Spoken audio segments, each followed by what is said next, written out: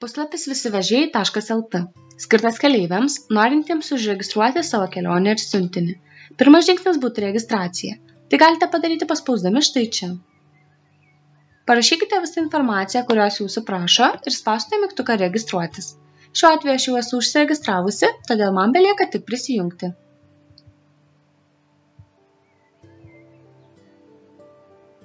Padarius šį žingsnį galite pradėti registruoti savo kelionę. Parašykite, iš kur vykstate, kaip šiuo atveju aš rašau Kroatiją, ir į kur vykstate, kaip šiuo atveju aš rašau Rusiją.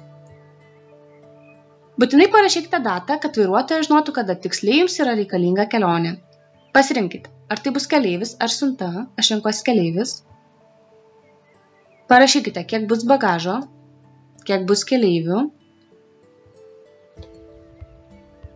Galite parašyti komentarą su išsamesnė informacija ir spausti mygtuką patvirtinti.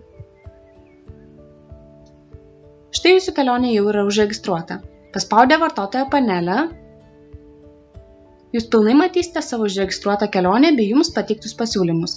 Atsižvelgiant, ar jūs registravotės telefonu ar L paštu, jums bus atsiųstas pranešimas, kad vairuotojas pateikė jums pasiūlymą. Sėkmės!